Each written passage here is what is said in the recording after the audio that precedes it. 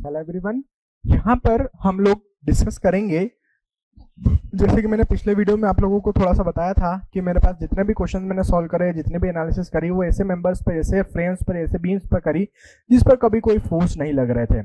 यदि आपको force specially दे रखे हैं यदि मेंबर्स के ऊपर तो फिर उसके हिसाब से रिएक्शंस डेवलप होंगे। अब मैं कहूँ कि यार, मेरे मेंबर पर सिर्फ़ वर्टिकल फोर्सेस लग रहे हैं। तो फिर होराइजोनटल रिएक्शन क्यों डेवलप होगी आपके सपोर्ट पर? तो फिर मुझे होराइजोनटल रिएक्शन नहीं लेना पड़ेगी। समझ रहे मैं क्या बोल रहा हूँ? यदि मैं कहता हूँ कि मेरे पास कोई फिक्स सपोर्ट है, उसमें कितनी एक्सटर्नल रिएक्शंस आती है? तीन। तीन एक्सटर्नल रिएक्शंस आती है। कैसे? देखिए, जैसे कि हमारे, हमने कहा कि हमारे पास ये हमारा, ये रहा फिक्स्ड बीम ये रहा हमारा एक फिक्स्ड बीम ठीक है? यहाँ पर एक्सटर्नल रिएक्शंस कितनी आती है? जनरली तीन आती है। तीन आती है। कौन कौन सी? एक होती है आपकी आर एक्स एक होती है आर वाई और एक होती है आपकी एम जेड यहाँ पर भी आपकी आर एक्स यहाँ पर आपका ये मतलब सपोर्ट पर आर वाई और आपका एम जेड ये हो सकता है। तो टोटल यहाँ पर भी तीन रिएक्शन आ गई, यहाँ भी तीन रिएक्शन आ गई। ठीक है? ये कब हुई? मतलब ये रिएक्शन का मतलब क्या है कि ये इतनी रिएक्शन इन सपोर्ट्स पर आ सकती है। लेकिन आ कितनी रही है, वो जानना ज़रूरी है बेस्ड ऑन लोड तो यहाँ पर मैं कहूँ कि मेरे पास एक सेम मेंबर है, कुछ इस तरीके से। उस पर केवल एक पॉइंट लोड हमने या सिर्फ़ एक वर्टिकल लोड लगाया। अरे भाई, जब सिर्फ़ वर्टिकल लोड लग रहा है तो सिर्फ़ वर्टिकल रिएक्शन और मोमेंट आएगा सिर्फ़ वर्टिकल रिएक्शन और मोमेंट आएगा। मतलब यहाँ पर टोटल रिएक्शन दो हो गई, यहाँ पर भी टोटल रिएक्शन दो हो गई। मतलब टोटल एक्सटर्नल रिएक्शन इस कंडीशन में कितनी हो गई आपकी? फोर और यहाँ पर टोटल एक्सटर्नल रिएक्शन कितनी हो रही थी? यहाँ पर तीन आ रही थी, यहाँ पर तीन आ रही थी एक्सटर्नल रिएक्शन हो गई थी छ मतलब इतनी रिएक्शन आ सकती है।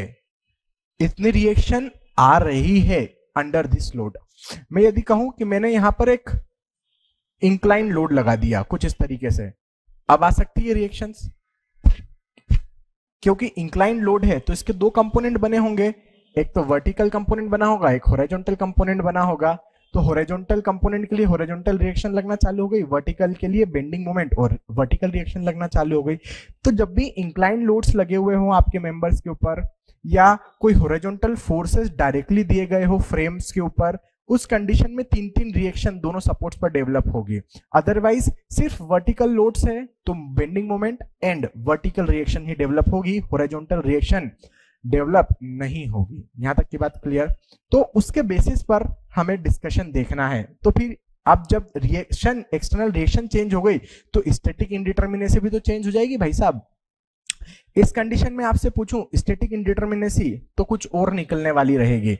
यहाँ पर मैं पूछूँ तो कुछ और निकलने वाली रहेगी। यहाँ पर मैं यदि आपसे इंडिटर्मिनेसी पूछूँ कितना है तो इस कंडीशन का इंडिटर्मिनेसी एक्सटर्नली कितना आ जाएगा? एक्सटर्नल रिएक्शन 6 माइनस तीन इक्विलिब्रियम इक्वेशन तो यहाँ पर कितनी आ गई? एक्सटर्नल रिएक्शन 6 में से तीन गया बचा तीन। इंटरनल इंडिटर्मिनेसी दिख रही है क्या? नहीं। इंटरनल इंडिटर्मिनेसी जो है, वो है आपकी ज़ीरो तो तीन प्लस ज़ीरो तो यहाँ पर स्टेटिक इंडिटर्मिनेसी कितनी आ गई? तीन आ चुकी है। लेकिन यहीं पर मैं इसका पूछूँ कि स्टेटिक इंडिटर्मिनेसी इसके अंदर निकालो। तो आप लोगों को क्या करना पड़ेगा? पहले एक्सटर्नल इंडिटर्मिनेसी निकालना होगा। एक्सटर्नल रिएक्शन चार है और इक्विलिब्रियम इक्वेशन कितनी लेना पड़ेगा? दो। क्यों भाई दो क्यों? भाई दो ही तो लग रही है ना हर जॉइंट पर summation F Y equal to zero लग रहा है summation M Z equal to zero लग रहा है। कोई होरिजोनटल फोर्सेस है ही नहीं मेंबर में तो summation F X equal to zero में लगाऊँगा ही नहीं यूज़ ही नहीं पड़ेगा। तो फिर यहाँ लेने से मतलब क्या है? तो यहाँ पर इक्विलिब्रियम इक्वेशन मुझे दो लेना पड़ेगी। Summation F X equal to zero में नहीं ले रहा हूँ। ठीक, सिर्फ़ ले रहा हूँ summation F I equal to zero summation M Z equal to zero दो इक्वेशन ऑफ़ इक्विलिब्रियम तो यहाँ पर आपके एक्सटर्नल रिएक्शन कितने आ गए? चार में से दो गया, बचा दो। इंटरनल इंडिटर्मिनेसी कुछ दिख रही है क्या? नहीं दिख रही है। ना तो कोई रिलीज़ रिएक्शन है और ना ही कोई लूप बन रहा है तो ज़ीरो तो यहाँ पर डीएस कितना बनता हुआ आपको नज़र आ गया? दो. तो इस तरीके से मतलब बीम का टाइप सेम था फिक्स्ड बीम थी. यहाँ पर टाइप ऑफ़ लोडिंग इंक्लाइन थी तो आपकी स्टेटिक इंडिटर्मिनेसी तीन हो गई. यहाँ पर type of loading exact vertical थी तो स्टेटिक इंडिटर्मिनेसी यहाँ पर दो बन गई. तीन और दो type of beam is same तो जब आपके लोड्स लगने लगते हैं तो थोड़ा सा पिक्चर थोड़ा सा गेम चेंज हो जाता है स्टेटिक इंडिटर्मिनेसी निकालने का। क्योंकि according to load we have to consider number of reaction and according to loads we have to consider number of equilibrium condition तो जो आप इक्विलिब्रियम कंडीशन 2D में बाय डिफ़ॉल्ट तीन ले लेते थे 3D में बाय डिफ़ॉल्ट सिक्स ले लेते थे, वो अब आपको बाय डिफ़ॉल्ट नहीं लेना है थोड़ा सा सोच समझ के लेना होगा। कि कितने लोड्स लग रहे हैं, किस टाइप के लोड्स लग रहे हैं तो कौन कौन से इक्विलिब्रियम इक्वेशंस बनने वाली रहेगी। क्लियर है? तो यहाँ पर मैं उसी पर डिस्कशन लिखना चाहूँगा, उसी की मैं बात यहाँ पर आप लोगों के साथ करना चाहूँगा कि जब लोड्स लगते हैं, तब स्टेटिक इंडिटर्मिनेसी अच्छे से मैं लिखवा मतलब हम डिस्कस करते हैं, कैसे निकाली जाना चाहिए। ये तो एक प्रॉब्लम होगी जो मैंने डिस्कस कर दी, ये लोग आप चाहे तो नोट कर सकते हैं। तो यहाँ पर मैं लिखूँगा स्पेशल केस स्पेशल केस और वो क्या है? When loads are occurring in the given structure structure कहूँ या हमारा बीम कहूँ या फिर फ्रेम कहूँ। देन अकॉर्डिंगली क्या करना है आपको? Then accordingly number of reaction and equation of equilibriums number of reaction and equations of equilibriums yeah equilibrium shall be considered समझ में आई बात क्या कहना चाह रहा हूँ मैं अब जैसे कि एक एग्ज़ाम्पल लेके मैं समझते हैं एग्ज़ाम्पल मैंने कहा कि हमारे पास एक बीम है कुछ इस तरीके से। एग्ज़ाम्पल ले रहा हूँ मतलब मैं आप लोगों का असाइनमेंट का क्वेश्चन नंबर आठ ले रहा हूँ। तो एग्ज़ाम्पल नहीं लिखता हूँ, मैं लिख देता हूँ असाइनमेंट का क्वेश्चन नंबर आठ। So question number eight of your assignment category तो वहाँ पर आप लोगों को एक बीम नज़र आ रहा है। कुछ इस तरीके से कंटिन्यूस बीम है बीच में रोलर सपोर्ट दिया गया है। अच्छा ये भी रिप्रेजेंटेशन किसका है? रोलर सपोर्ट का है ठीक है? हम कैसे बनाते थे, ऐसा भी बना सकते हैं या फिर ऐसा भी बना सकते हैं। बोथ आर प्रेजेंटिंग या giving the same vertical reaction only तो यहाँ पर हम इसको रोलर सपोर्ट कहते हैं। और दूसरा एंड भी आपका यहाँ पर क्या है मेरे पास? फिक्स है। अब यहाँ पर हमारे पास दोनों ही स्पैंस में लोड्स दिए गए हैं। वो बोला गया है स्टैटिक इंडिटर्मिनेसी हमें निकालना है। हमने देखा कि यदि हमारे पास एक्सटर्नल नली लोड लग रहे हैं, हमें एक्सटर्नल इंडिटर्मिनेसी निकालना है इंटरनल इंडिटर्मिनेसी निकालना है। तो एक्सटर्नल इंडिटर्मिनेसी आप लोग जानते हैं क्या होती है एक्सटर्नल इंडिटर्मिनेसी ये होती है आपकी external reaction minus number of equilibrium number of equilibrium equations. ठीक है? अब यहाँ पर जो एक्सटर्नल रिएक्शंस पहले हम निकालते हैं। एक्सटर्नल रिएक्शंस यहाँ पर केवल वर्टिकल लोड्स लग रहे हैं तो एक वर्टिकल रिएक्शन आएगी और एक बेंडिंग मोमेंट आएगा। यहाँ पर भी सिर्फ़ वर्टिकल रिएक्शन आएगी और सिर्फ़ बेंडिंग मोमेंट आएगा और ये रोलर सपोर्ट पर एक रोलर वर्टिकल रिएक्शन आएगी। तो टोटल रिएक्शन कितनी हो गई? एक, दो, तीन, चार, पाँच। टोटल रिएक्शन आपके पास लग रही है पाँच। So five minus number of equilibrium equation 2D में एक्चुअली होती कितनी है? तीन। लेकिन यहाँ पर यूज़ में कितनी आ रही है? केवल दो। और वो दो क्या है? F summation F Y equal to zero summation F Y equal to zero हाँ ये यूज़ में आ रहा है। Summation M Z equal to zero हाँ ये यूज़ में आने वाला है क्योंकि बेंडिंग मोमेंट्स आने वाले रहेंगे। वर्टिकल रिएक्शन आने वाली रहेंगी। कोई भी होरेजोनटल फोर्सेस नहीं लग रहे हैं मेंबर पर, इसलिए summation F X equal to zero can be ignored can be ignored और it's not required I should write bracket में लिख सकता हूँ इज़ नॉट रिक्वायर्ड क्यों रिक्वायर्ड नहीं है?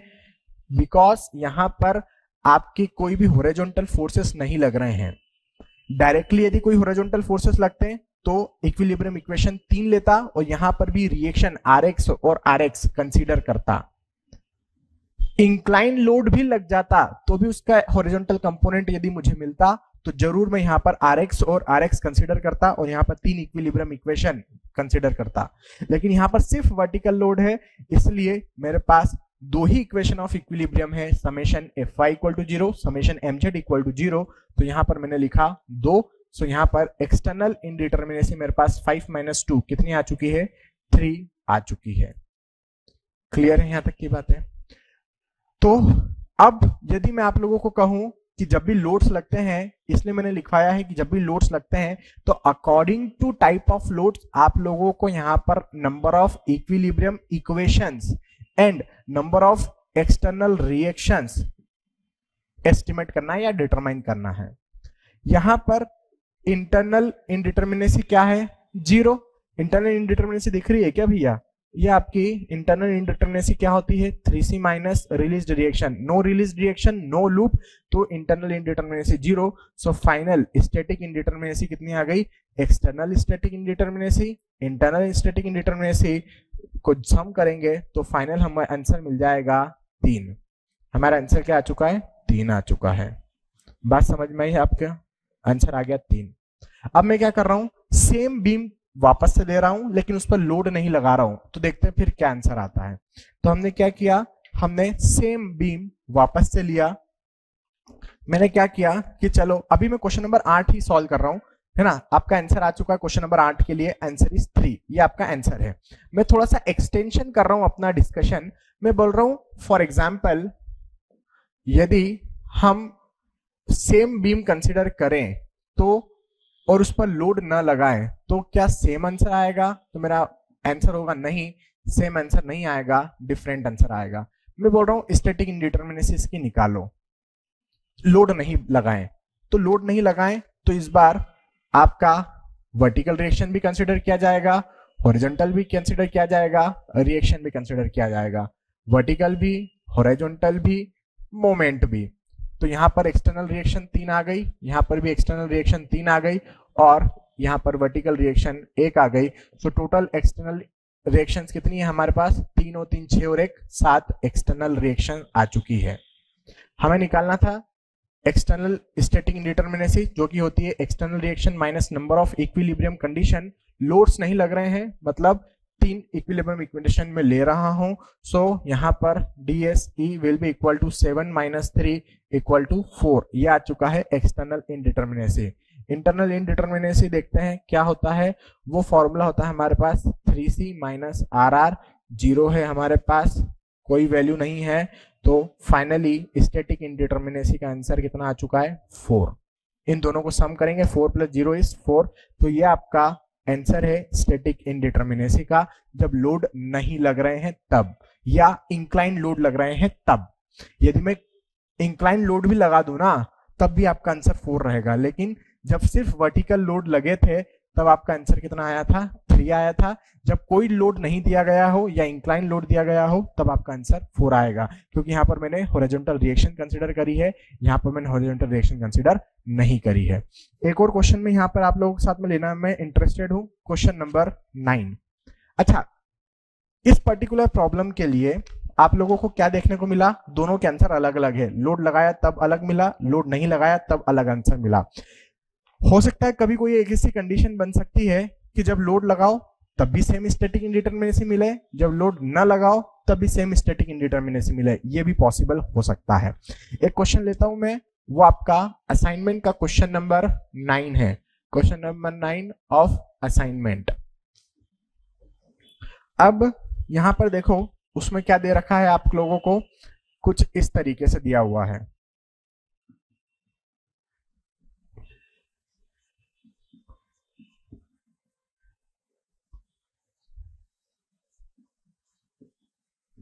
ठीक है?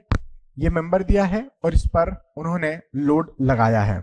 और पूछा है, बताओ स्टैटिक इंडिटरमिनेसी कितनी होगी? तो यहाँ पर फिर वही बात कि वर्टिकल लोड लग रहा है। तो वर्टिकल लोड लगने पर आपका रोलर में तो वर्टिकल रिएक्शन आएगा ही, यहाँ पर भी वर्टिकल रिएक्शन आएगा ही। हिंज पर दो रिएक्शन आते हैं R X and R Y लेकिन आर एक्स तब आता है जब होरिजेंटल फोर्सेस लग रहे हो या इंक्लाइन फोर्स लग रहा हो तो इंक्लाइन फोर्स इसलिए मैं कहता हूँ क्योंकि इंक्लाइन फोर्स से होरिजेंटल कंपोनेंट मिल जाता है मुझे, है ना? तो यहाँ पर कोई होरिजेंटल फोर्स या इंक्लाइन फोर्स नहीं लग रहा है तो यहाँ पर केवल एक ही रिएक्शन कंसिडर की जाएगी, वो रहेगी R Y horizontal reaction R X यहाँ डेवलप नहीं होगी। डेवलप हो सकती है हिंज पर ये उसकी क्षमता है। कैपेसिटी है कि वो दो reaction R X and R Y develop कर सकता है। लेकिन डेवलप कितनी हो रही है अभी फ़िलहाल में? एक। क्यों? क्योंकि आपने केवल वर्टिकल लोड लगा रखा है। तो यहाँ पर हमारे पास एक्सटर्नल रिएक्शन कितनी आ चुकी है?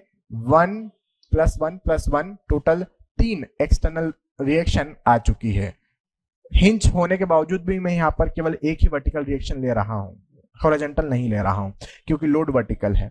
अब हमें निकालना था external static indeterminacy R E minus number of equilibrium condition कितनी इक्विलिब्रियम कंडीशन ले लू भाई साहब मैं? दो summation F X equal to zero summation summation F Y equal to zero and summation M Z equal to zero F X लूँगा क्या? नहीं लूँगा। क्यों नहीं लोगे भाई? क्योंकि भाई एफ़ एक्स लेके मैं क्या करूँगा? क्योंकि यहाँ हॉरिजॉन्टल फोर्स तो लगी नहीं रहे ना? So, I should not consider summation fx equal to zero. So, I have I have considered only two equation of equilibriums. So, यहाँ पे external कितना आ चुका है reactions? यहाँ पर एक्सटर्नल static indeterminacy आ चुकी है three minus two D S equal to one आ चुकी है। अब हम बात कर लेते हैं इंटरनल स्टेटिक इंडिटर्मिनेसी की। इंटरनल स्टेटिक इंडिटर्मिनेसी का फॉर्मूला मुझे याद है three C minus release reaction number of loops नज़र आ रहे हैं क्या? नहीं। रिलीज़ रिएक्शन है क्या? हाँ है। कितनी है release reaction so release reaction मुझे एक नज़र आई। दो मेंबर्स कनेक्टेड है तो एम माइनस वन वन तो यहाँ पर आपके पास इंटरनल स्टेटिक इंडिटर्मिनेसी नज़र आ चुकी है zero minus one so internal static indeterminacy minus one आ चुकी है। क्लियर है यहाँ तक की बात? आप लोगों के पास में एक्सटर्नल इंडिटर्मिनेसी भी है, आप लोगों के पास में इंटरनल इंडिटर्मिनेसी भी है। दोनों को सम करेंगे आंसर मिलेगा और static indeterminacy one minus one कितना हो चुका है स्टेटिक इंडिटर्मिनेसी ज़ीरो मतलब ये क्या है आपका गिवन बीम स्टेटिकली डिटर्मिनेट है।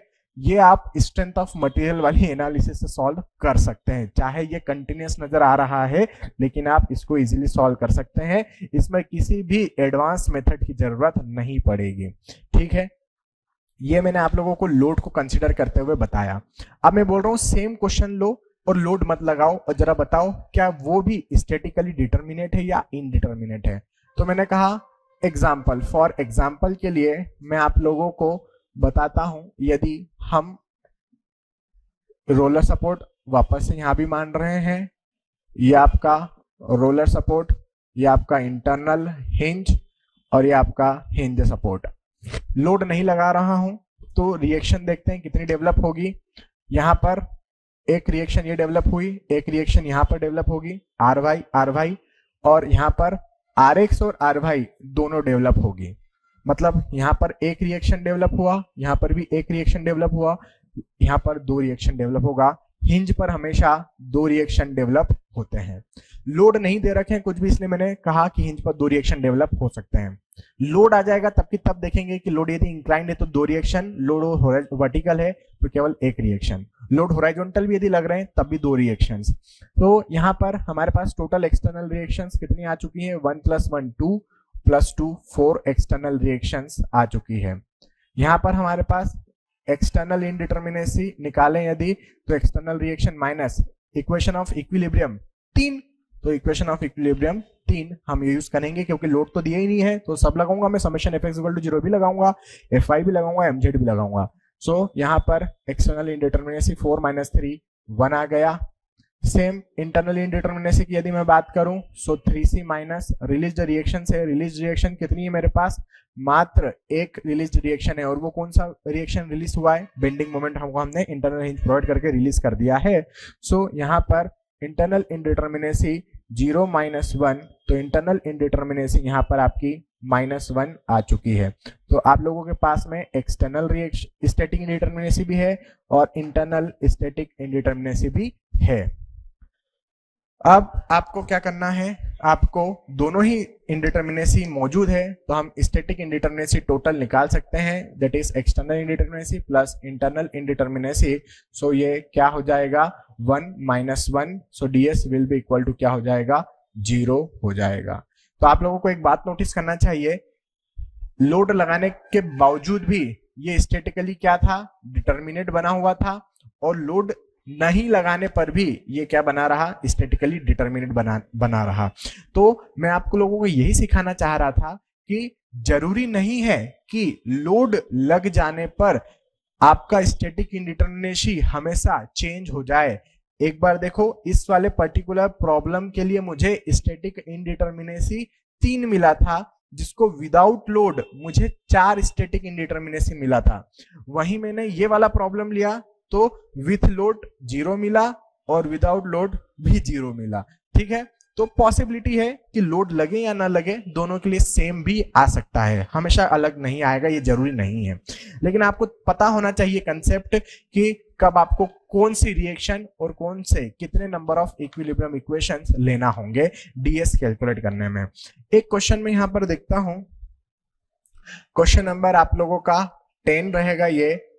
असाइनमेंट क्वेश्चंस की कैटेगरी से असाइनमेंट क्वेश्चन की कैटेगरी से क्वेश्चन नंबर टेन देखते हैं हम। दिया है आपको कुछ इस तरीके से एक प्रॉब्लम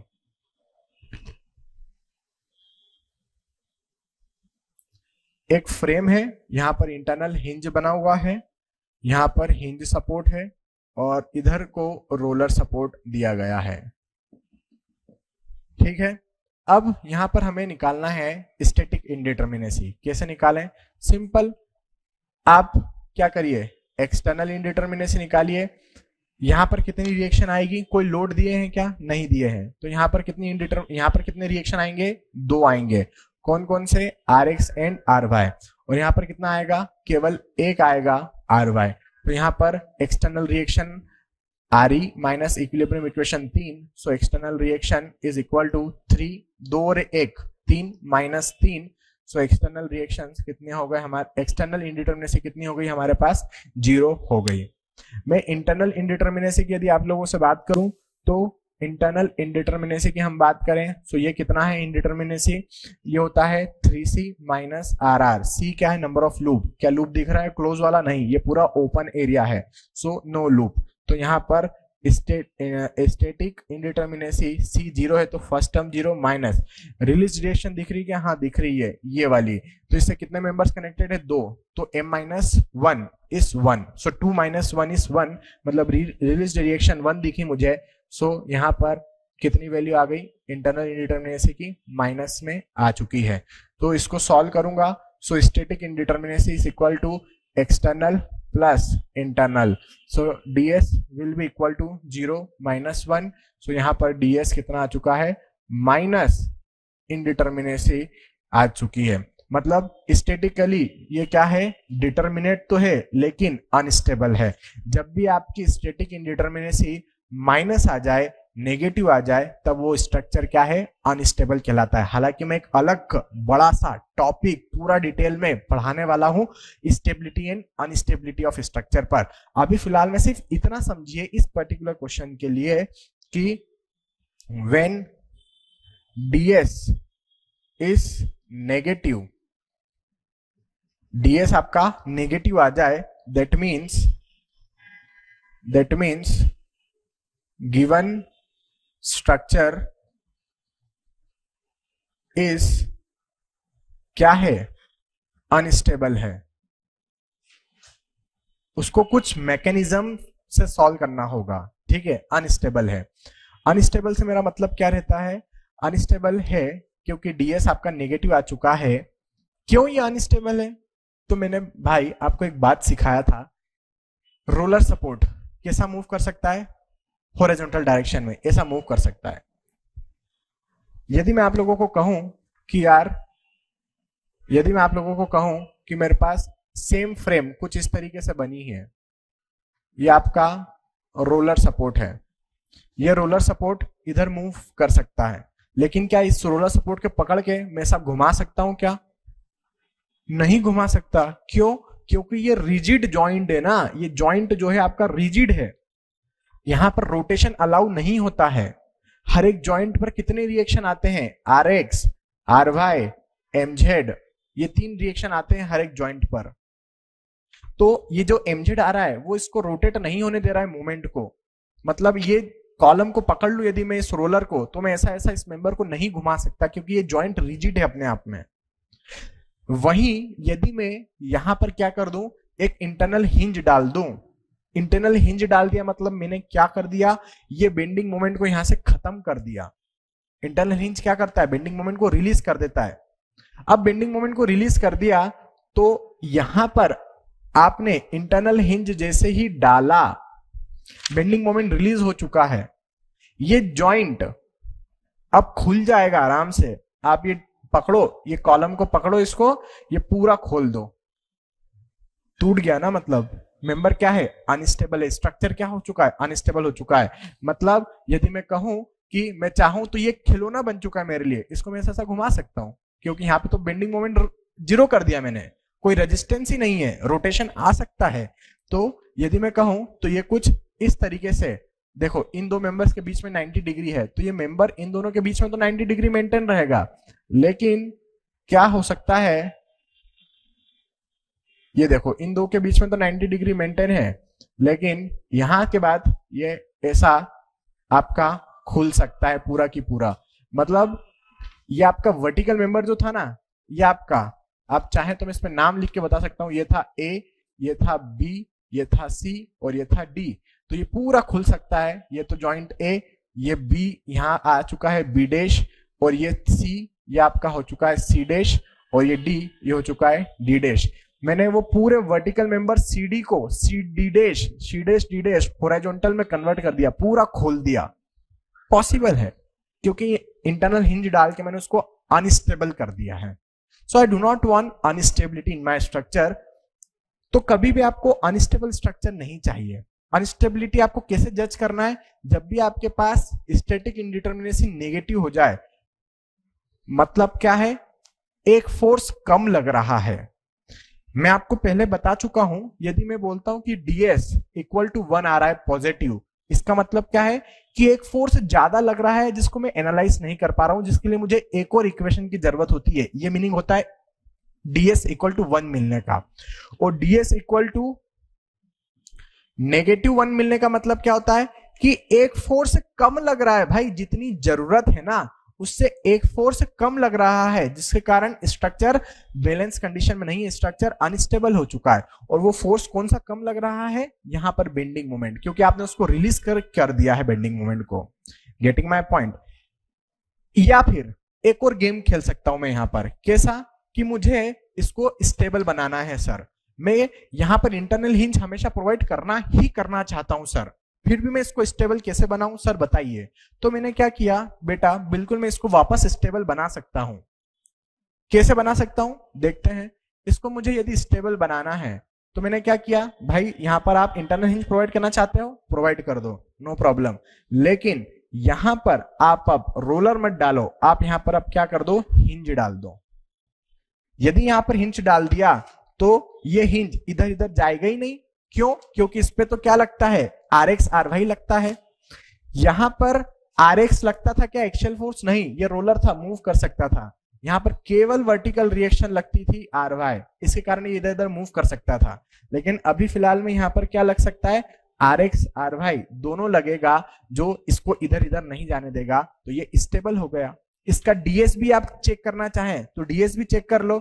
इस वाले का डीएस प्लस वन आ या इस, इस वाले का डीएस चेक करो कितना आता है। आपको पता लग जाएगा मैंने ये डालकर एक एडिशनल वैल्यू दे दी जो इन जो इसको डिटर्मिनेट बना देगी। डीएस क्या हो चुका है यहाँ पर? एक्सटर्नल देखो। यहाँ पर दो रिएक्शन आई होगी अब इस बार यहाँ पर भी दो रिएक्शन आई होगी। सो एक्सटर्नल इंडिटर्मिनेट की बात करूँ तो four minus three equal to one so DSC कितना हो गया? एक्सटर्नली वन आ चुका है आप लोगों के पास। और इंटरनल कितना आता है? इंटरनल माइनस वन आ ही रहा था। तो आपका एक्सटर्नल इनडिटर्मिनेसी और इंटरनल इनडिटर्मिनेसी जोड़ने पर मेरे पास कितना आ चुका है? स्टेटिक इनडिटर्मिनेसी ज़ीरो आ चुका है। ज़ीरो आ चुका मतलब डिटर्मिनेट है स्टेबल है, कोई प्रॉब्लम नहीं है। तो जब भी स्टेटिक इनडिटर्मिनेसी ज़ीरो हो या ज़ीरो से बड़ी हो, आपका स्ट्रक्चर या आपका मेंबर स्टेबल रहता है, लेकिन नेगेटिव हो जाती है तो फिर वो क्या हो जाता है? अनस्टेबल हो जाता है। तो देखो मैंने एक फोर्स लगाकर मतलब एक सपोर्ट को चेंज करते हुए इसको क्या बना दिया? स्ट्रक्चर को स्टेबल बना दिया। क्या यही एक अकेला सॉल्यूशन है इसका? नहीं, एक और सॉल्यूशन हो सकता है। या तो आप एक काम कर दो इंटरनल हिंज डालो ही मत। ये करा, यहाँ पे भी आप रोलर ही रखना चाहते हो यदि तो रोलर ही रखो, फिर यहाँ इंटरनल हिंज मत डालो। तब भी आपका फ्रेम पूरी तरीके से डिटर्मिनेट रहेगा। समझ में आ रही मेरी बात? क्या कहना चाह रहा हूँ? तो सॉल्यूशन ये भी हो सकता है, ये भी इसका सॉल्यूशन हो सकता है। So both are statically determinate इसके लिए भी डीएस इक्वल टू ज़ीरो ही निकलेगा। इसके लिए भी डीएस इक्वल टू ज़ीरो ही निकला है। ठीक है? तो ये आपका एक केस हो सकता है। अच्छा एक और क्वेश्चन में लास्ट यहाँ पर बताता हूँ आप लोगों को कि मैं आप लोगों को एक क्वेश्चन कराता हूँ। Question number eleven question number eleven assignment का। अच्छा ये एक सॉल्यूशन हो गया एक और सॉल्यूशन ये भी हो सकता है इसके लिए भी मैं बना देता हूँ है ना?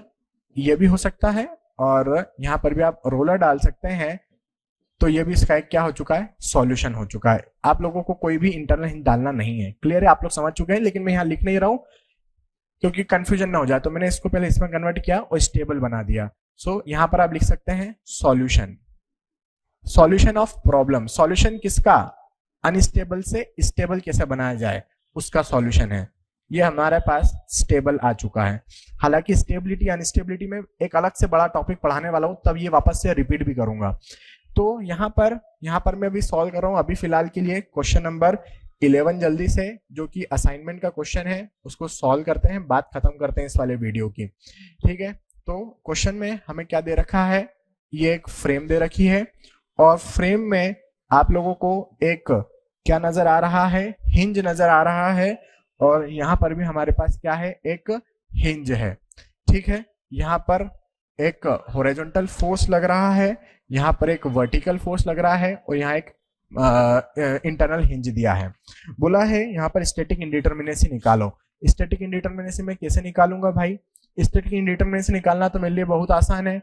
एक्सटर्न एक्सटर्नल इंडिटर्मिनेसी निकाल दू पहले। External reaction minus number of equilibrium condition पहले देखो एक्सटर्नल रिएक्शंस कितनी आ रही है? वर्टिकल लोड लग रहा है, लेकिन साथ साथ में क्या लग रहा है? होराइजोनटल लोड भी लग रहा है। ये जानना बहुत ज़रूरी है आपको। तो वर्टिकल के साथ साथ होराइजोनटल भी लग रहा है मतलब ये जो हिंज सपोर्ट है, ये पूरी की पूरी रिएक्शन देगा वर्टिकल भी देगा होराइजोनटल भी देगा मतलब इस पर क्या आने वाला है? दो रिएक्शन आने वाली है। यदि मैं ये होराइजोनटल फोर्स को हटा दू ना तब यहाँ पर फिर मुझे केवल एक ही रिएक्शन लेना पड़ेगा, क्योंकि वर्टिकल फोर्स है तो केवल वर्टिकल रिएक्शन आएगी। लेकिन यहाँ पर अभी फ़िलहाल में होरिजेंटल फोर्स भी है तो मुझे दोनों रिएक्शन लेना होगी। इस पर भी दो रिएक्शन हमारे पास आ चुकी है तो यहाँ पर भी दो रिएक्शन तो दो रिएक्शन आ चुकी है। तो number of equilibrium condition summation F X summation F Y M Z तीनों में कंसिडर कर रहा हूँ। सो so, ये हो चुका है आपका होरिजेंटल फोर्सेस आने पर आपको बेंडिंग मोमेंट कंसिडर करना पड़ेगा। मतलब summation F X equal to zero summation F Y equal to zero summation M Z equal to zero सब कुछ तीनों हम कंसिडर करेंगे। तो यहाँ पर दो और दो चार एक्सटर्नल रिएक्शन माइनस तीन इक्वल टू क्या हो चुका है? वन आ चुका है। ये एक्सटर्नल रिएक्शन आ गई।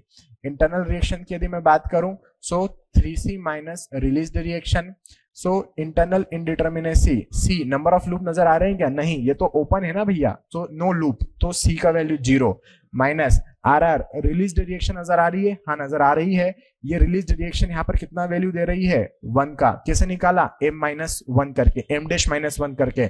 इस इंटरनल इंज से दो मेंबर जा रहे थे so two minus one one आ गया। आप लोग समझते मैं क्या बात कर रहा हूँ। सो so, यहाँ पर हमने लिख दिया वन सो so, हमारे पास वैल्यू कितनी हो गई? माइनस वन तो यहाँ पर हमने लिखा total static indeterminacy total static indeterminacy will be equal to external indeterminacy plus internal indeterminacy so यहाँ पर यहाँ पर डीएसई हमें कितना मिला था? प्लस वन मिला था और यहाँ पर हमें कितना मिला? माइनस वन मिला। तो वैल्यू कितनी हो गई हमारे पास? ज़ीरो आ चुकी है स्टेटिक इनडिटर्मिनेसी का। क्लियर इतनी बात पूरी समझ में आ गई आपको। सो ये क्या है? स्टेटिकली डिटर्मिनेट है। इसको आप क्या कहते हैं? जब भी आपको ज़ीरो मिलती है स्टेबल भी है स्टेटिकली डिटर्मिनेट भी है। तो ये आपके, हमने नंबर ऑफ़ क्वेश्चंस इस वीडियो में सॉल्व करे हैं। आप चाहें तो इसको लिख सकते हैं कि ये क्या है? ये है आपका statically statically determinate